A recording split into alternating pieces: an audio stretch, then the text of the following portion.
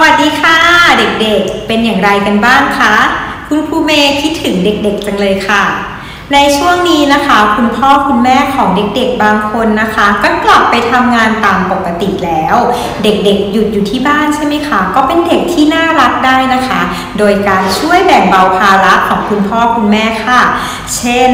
เด็กๆเล่นของเล่นใช่ไหมคะ เด็กๆก็ช่วยเก็บของเล่นเข้าที่ให้เรียบร้อย เมื่อเวลาที่คุณพ่อคุณแม่กลับมาจากที่ทำงานเหนื่อยๆนะคะ เห็นบ้านสะอาดเรียบร้อย คุณพ่อคุณแม่ก็หายเหนื่อยแล้วค่ะ เอาละค่ะเด็กๆ วันนี้นะคะ คุณครูเมย์ก็มีกิจกรรมสนุกๆค่ะมาฝากเด็กๆ กิจกรรมวิทยาศาสตร์ของคุณครูเมย์ในวันนี้นะคะ ก็เกี่ยวกับใบไม้ แต่ยังไม่บอกเด็กๆหรอกนะคะ ว่านำใบไม้มาทำอะไร ถ้าเด็กๆอยากรู้แล้ว ตามคุณครูเมย์มาเลยค่ะ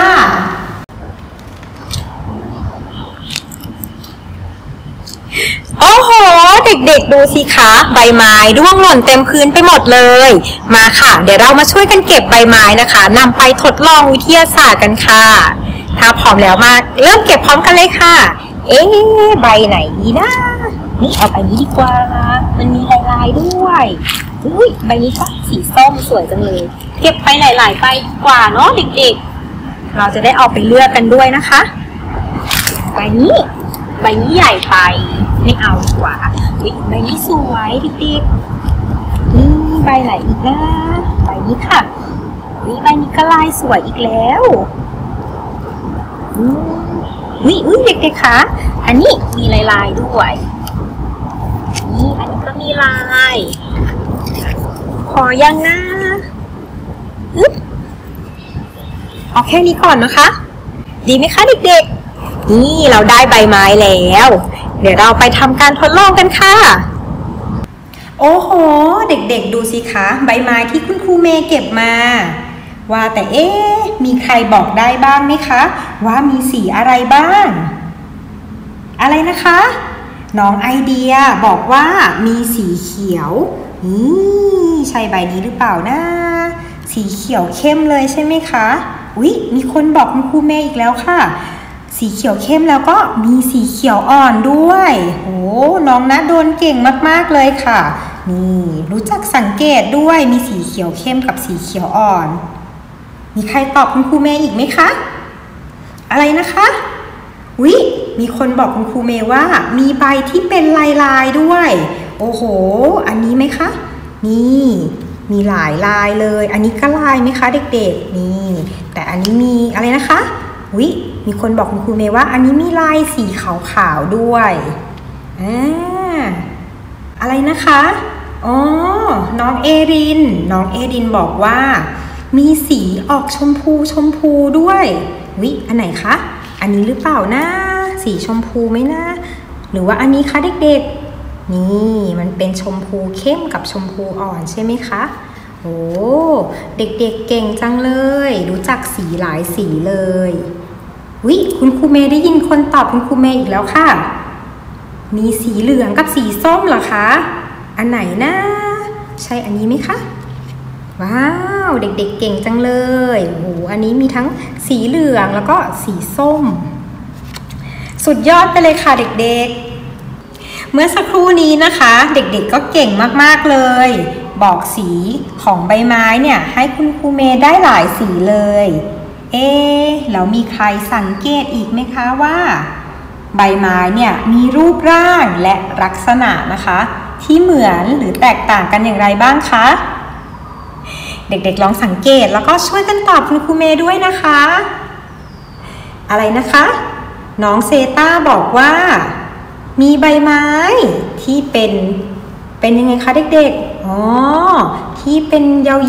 วๆ ใช่ไหมคะ รูปทรงยาวๆแบบนี้เลย นี่ อันนี้ด้วยไหมคะ นี่ ยาวๆแบบนี้เลยโหเด็กๆเก่งจังเลยค่ะรู้จักสังเกตด้วย อะไรอีกนะคะ น้องเคเดน น้องเคเดนบอกว่า วิ มีเป็นรูปหัวใจด้วยเหรอคะ ไหนคะเด็กๆ วิ อันนี้เหรอคะ อ๋อ อันนี้ใช่ไหมคะ นี่ เหมือนเป็นรูปหัวใจเลยใช่ไหมคะ ว้าวทำไมเด็กๆเก่งจังเลยคะรู้จักสังเกตด้วย อะไรอีกนะคะอืมน้องมาโปรด น้องมาโปรดบอกว่า ใบไม้เนี่ย เป็นยังไงคะ มีขนาดต่างกันเหรอคะวิอันนี้ขนาดอะไรนะคะ อ๋อ ขนาดใหญ่ แล้วก็มีขนาดเล็กเหรอคะโหอันนี้แบบนี้ไหมคะเด็กๆ เด็กๆเเก่งจังเลยค่ะ รู้จักสังเกตเปรียบเทียบด้วย ว่ามีขนาดใหญ่แล้วก็ขนาดเล็ก มีรูปทรงแล้วก็รูปร่างที่แตกต่างกันด้วย ก่อนที่เราจะไปทำการทดลองนะคะ เดี๋ยวเราไปดูอุปกรณ์กันก่อนค่ะ อุปกรณ์ที่ใช้นะคะ ก็มีใบไม้ เราจะใช้ใบไม้ที่มีสีต่างกัน กระดาษกรอง แก้วพลาสติกใส แอลกอฮอล์ตะเกียบ เหรียญบาท สกอตเทป ดินสอ แล้วก็ไม้บรรทัดค่ะ ขั้นตอนแรกนะคะนำกระดาษกรองที่เตรียมไว้ ใช้ไม้บรรทัด วัดจากปลายด้านหนึ่งของกระดาษกรอง วัดขึ้นมาประมาณ 2 เซนติเมตร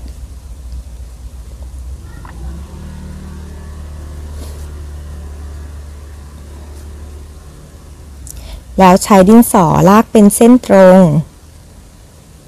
เพื่อใช้เป็นเส้นที่เราจะฝนใบไม้ลงไปค่ะเด็กๆขั้นตอนต่อไปนะคะ นี่เรานำกระดาษกรองที่เราขีดเส้นกำหนดไว้แล้วใช่ไหมคะ หลังจากนั้นเราจะนำใบไม้ค่ะ มาฝน นี่ แบบนี้เลยค่ะเด็กๆ เด็กๆ ช่วยคุณครูเมย์สังเกตด้วยนะคะ ว่าจะเกิดอะไรขึ้น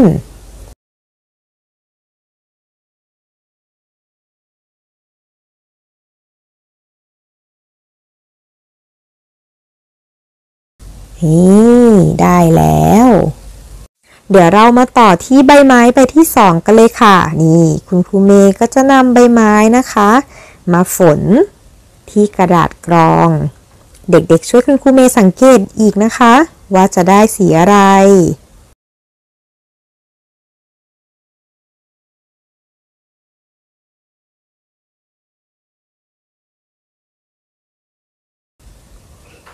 ว้าวมา ค่ะ ใบสุดท้ายแล้วค่ะเด็กๆ ดีใจจังเลยอึ๊บ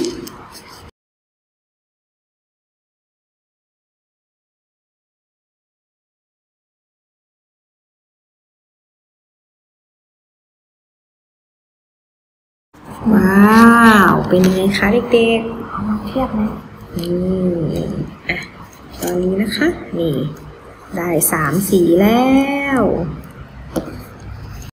ขั้นตอนต่อไปนะคะ คุณครูเมย์ก็จะนำแอลกอฮอล์ค่ะ เทใส่ในแก้วพลาสติกใส ให้ระดับแอลกอฮอล์นะคะ สูงจากก้นถ้วยประมาณ 1.5เซนติเมตรค่ะ แล้วก็นำกระดาษกรองค่ะ มาติดกับตะเกียบ นี่ แล้วก็ใช้เทปใสยึดไว้นะคะ ไม่ให้หลุดค่ะ หลังจากนั้นนะคะ เดี๋ยวคุณครูเมย์จะนำกระดาษกรองค่ะเด็กๆ จุ่มลงในถ้วยให้ปลายกระดาษกรองนะคะ จุ่มลงในแอลกอฮอล์ค่ะเด็กๆ แบบนี้เลยค่ะ มาค่ะเด็กๆ หลังจากผ่านไป 10 นาทีนะคะโอ้เด็กๆ สังเกตดูสิคะ ว่ามีแถบสีอะไรขึ้นมาบ้าง นี่ เด็กๆ ช่วยคุณครูเมย์สังเกตดูด้วยนะคะ ว่าเห็นแถบสีอะไร แล้วเดี๋ยวช่วยคุณครูเมย์ตอบกันด้วยนะคะ นี่เดี๋ยวคุณครูเมย์จะนำใบไม้นะคะ มาวางให้เด็กๆดูด้วย นี่ใบไม้ใบที่หนึ่งค่ะ อะไรนะคะน้องแตงกิ้วบอกคุณครูเมย์ว่า เห็นแถบสีแดง น้องอลิสบอกอีกค่ะ ว่าเห็นเป็นสีน้ำตาล อะไรอีกนะคะ อ๋อ น้องกวินบอกว่า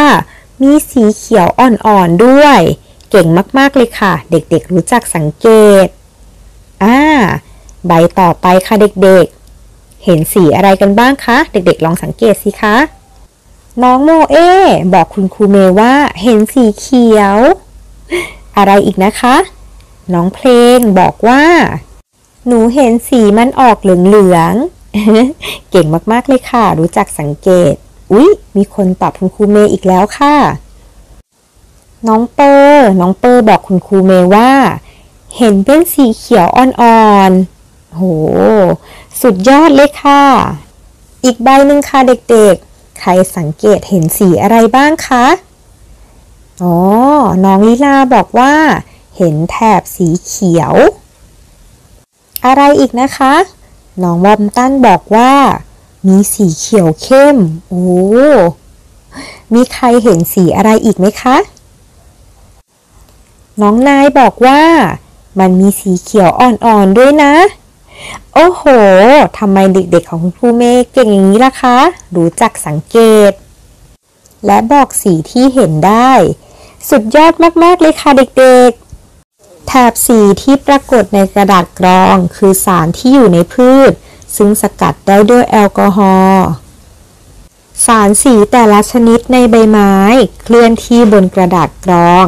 ได้มาก น้อย และช้าเร็ว แตกต่างกันด้วยนะคะเด็กๆ จากการทดลองสารสีในใบไม้